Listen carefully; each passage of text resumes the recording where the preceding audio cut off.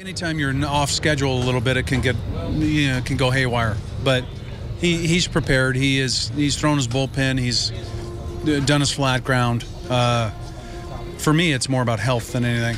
So as long as he feels good about it, that's what I'm concerned about. Then he's he's got the ability to to adjust within a game and throw different pitches for strikes when he wants to. So uh, I'm not worried about that. Uh, the only thing that concerns me is that his thumb feels good and he's he's good to go out there without any hesitation.